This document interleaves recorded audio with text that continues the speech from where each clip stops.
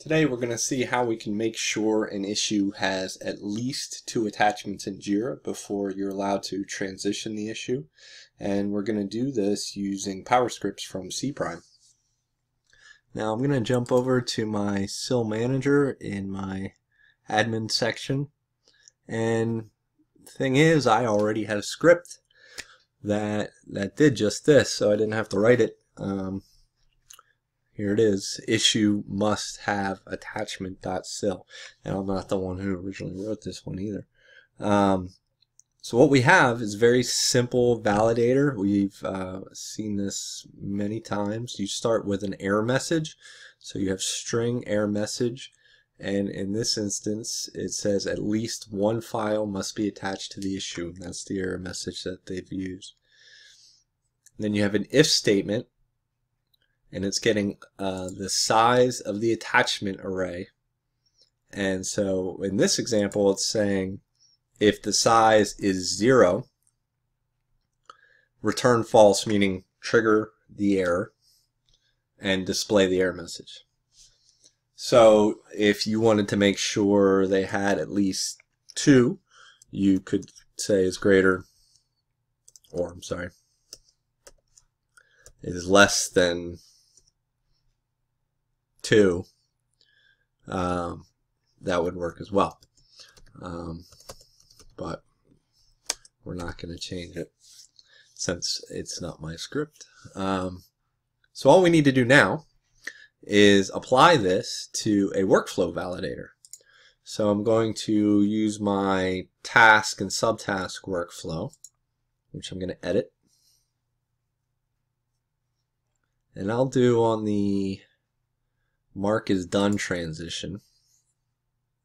So we want to make sure everything is in place before we mark it as done. And I'm going to get rid of this uh, this other validator that was here for another video. So we'll say add validator. I, I pick on this workflow a lot.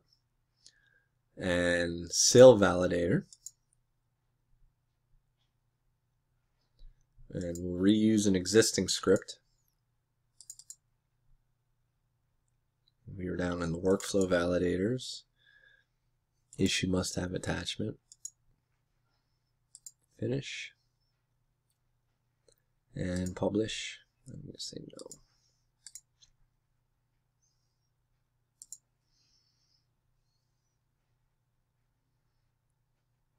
So let's create a sample task.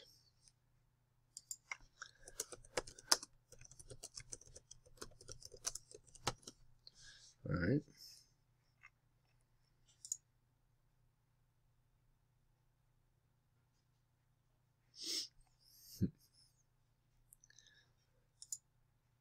Again, just some other scripts from other videos. Need to learn to clean those up.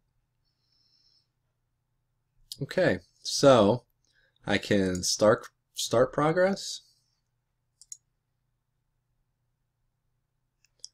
But if I go to mark as done, and I try to, at least one file must be attached to the issue. So, cancel out of there.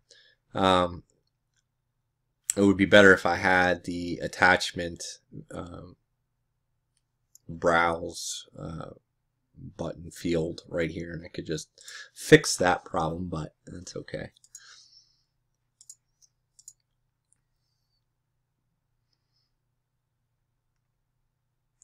Oh? We'll just we'll just find some pictures of my kids. There we go.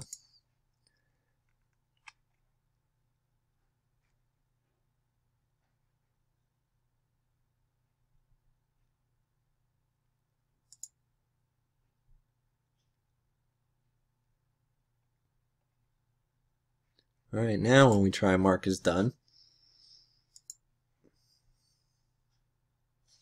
you can see that that time that transition worked. Um, because we left the code, it, it, just had to have one. Um, So we didn't want it to equal zero. So there you go.